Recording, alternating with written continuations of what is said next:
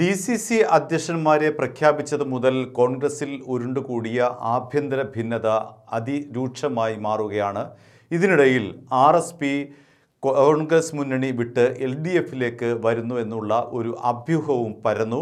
അത് വളരെ ശക്തമാവുകയും ചെയ്തു. R S P U D F വിട്ട് എൽ ഡി എഫിലേക്ക് വരുന്നു എന്നുള്ളതായിരുന്നു ആ അഭ്യൂഹം.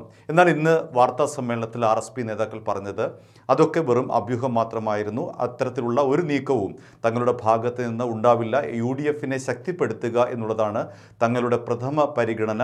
അതിപ്പോഴും അങ്ങനെ തന്നെയാണ്. കോൺഗ്രസിലെ ഗ്രൂപ്പ് വഴക്കുമായി ബന്ധപ്പെട്ടുള്ള പ്രശ്നങ്ങൾ പരിഹരിക്കുകയാണ് നമ്മളുടെ ലക്ഷ്യം. എല്ലാം പരിഹരിച്ചുകൊണ്ട് മുന്നോട്ട് പോകുക എന്നുള്ളതാണ് ആർ എസ് പിയും ആഗ്രഹിക്കുന്നത് എന്നാണ് ആർ എസ് പി സംസ്ഥാന സെക്രട്ടറി എ അസീസ് ഇന്ന് കൊല്ല തിരുവനന്തപുരത്ത് വിളിച്ചു ചേർത്ത വാർത്താ സമ്മേളനത്തിൽ പറഞ്ഞത് കോൺഗ്രസിനെതിരെ പരസ്യ വിമർശനം ഉന്നയിച്ച ആർ എസ് പിയെ ചർച്ചയ്ക്ക് ക്ഷണിച്ചതോടെയാണ് പാർട്ടി അയഞ്ഞത്. തൽക്കാലം യു ഡി എഫിൽ നിന്നുകൊണ്ട് മുന്നണിയെ ശക്തിപ്പെടുത്തണമെന്നാണ് നേതൃത്വത്തിന്റെ പൊതുവികാരം. തിങ്കളാഴ്ച നടക്കുന്ന ഉഭയകക്ഷി ചർച്ചയിൽ മുന്നണിയിൽ വരുത്തേണ്ട മാറ്റങ്ങൾ ആർ എസ് പി എന്തെല്ലാമാണെന്ന് ഉന്നയിക്കുന്നതാണ്. കോൺഗ്രസിലെ തമ്മിലടി ഉചിതമായില്ലെന്ന് നേതൃത്വത്തെ അറിയിക്കും. തെറ്റുകൾ തിരുത്തി മുന്നോട്ട് പോകണമെന്നാണ് ആർ എസ് പിയുടെ നിലപാട്. ഇപ്പോൾ മുന്നണി മാറ്റത്തിന് അനുകൂല സാഹചര്യമില്ലെന്നാണ് സംസ്ഥാന സമിതിയുടെ വിലയിരുത്തൽ.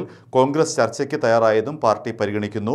മുന്നണി വിട്ടാലും ഇടതുമുന്നണി സ്വീകരിക്കുമെന്ന് യാതൊരു ഉറപ്പുമില്ല. അതിനാൽ പെരുവഴിയാകേണ്ട സാഹചര്യം ഇപ്പോഴില്ല എന്നാണ് ഒരു വിഭാഗം നേതാക്കളുടെ നിലപാട്. പ്രശ്നങ്ങൾ പരിഹരിക്കപ്പെട്ടില്ല എങ്കിൽ കടുത്ത നിലപാട് സ്വീകരിക്കേണ്ടി വരുമെന്നുമാണ് ഇന്ന് R S P U D F നേതാക്കൾക്ക് പ്രത്യേകിച്ച് കോൺഗ്രസ് നേതാക്കൾക്ക് നൽകിയ മുന്നറിയിപ്പ്.